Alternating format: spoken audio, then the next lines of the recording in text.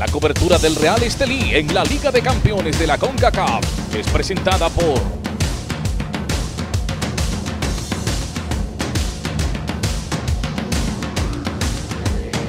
Gracias, Efraín. Hola, ¿qué tal? Buenas tardes. Bienvenidos a un reporte más patrocinado por la Alcaldía de Managua para servirle mejor y que les recuerda que no boten la basura en las calles ni en los cauces. Pongamos la basura en su lugar. Y también por Nicabet Gana más, arriesga menos solamente con Nicabet, la mejor casa de apuestas de Nicaragua. Hoy estamos a las afueras del estadio del equipo de la Liga Deportiva Alajuelense, donde el equipo del Real Esterí, el Tren del Norte, ya está en Costa Rica y está entrenando. El equipo llegó a este estadio a eso de las 9 y 15 de la mañana. Tendrán una hora, notarán unos 15 minutos para poder hacer unos recursos del entrenamiento y también tendremos la conferencia de prensa a continuación en este reporte. Juan, no ha cambiado nada con respecto al partido allá en, en, Estelí, respecto al movimiento táctico, respecto a, los pensamientos, a la mentalidad también para este encuentro.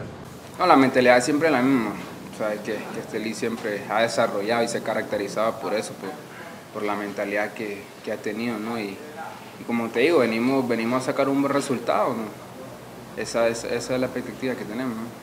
Sí, no, es bonito venir. La verdad, casualmente me encontré con, con una amistad acá que trabaja en el estadio y, y ya estamos en otras circunstancias, ¿no? Ahora juego para, para Nicaragua, mi país donde soy, y creo que sería muy bonito, ¿no? Sacar un resultado. Samuel, comentanos sobre el partido, ya solamente quedan pocos detalles, creo yo, que afinar, tal vez ninguno. Eh, la diferencia entre el primer juego allá en, en Estelí y el, juego que se va a realizar mañana.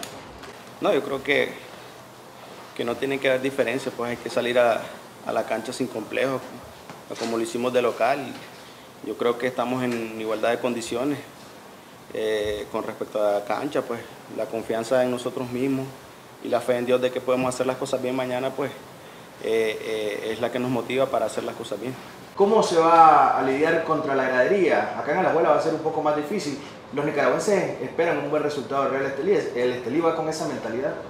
Sí, la verdad que sí, pues por ahí aceptable para mí, pues en lo personal no, no cabe. Pues, el Real Estelí como, como institución pues siempre es un equipo que sale a, proponer fútbol tanto fuera como dentro de casa. Sabemos de que, de que por ahí pues los resultados no, se nos han dado. Sabemos de que hemos hecho las cosas bien, pero todavía nos hace falta mucho por mejorar. Si bien vos dijiste pues de que la afición con nosotros en Estelí es, muy, muy exigente, nosotros ya estamos acostumbrados a ese tipo de cosas, sabemos en, lo que estamos y, mañana pues eh, hay, que, hay que aprovechar pues esa gente que viene a apoyar a la liga para, para así esa energía sacarla y dar lo mejor de nosotros.